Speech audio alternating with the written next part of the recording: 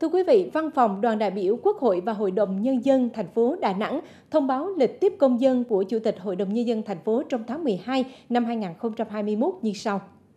Thời gian lúc 14 giờ ngày 24 tháng 12 năm 2021, chiều thứ Sáu, địa điểm phòng tiếp công dân, trụ sở đoàn đại biểu Quốc hội và Hội đồng Nhân dân thành phố, số 32 đường Bạch Đằng, thành phố Đà Nẵng. Để công tác tiếp công dân của Chủ tịch Hội đồng Nhân dân thành phố có hiệu quả, người dân có nhu cầu tiếp dân liên hệ bộ phận tiếp công dân của Thường trực Hội đồng Nhân dân thành phố tại số 180 Hoàng Diệu, thành phố Đà Nẵng để đăng ký trước ngày 17 tháng 12 năm 2021.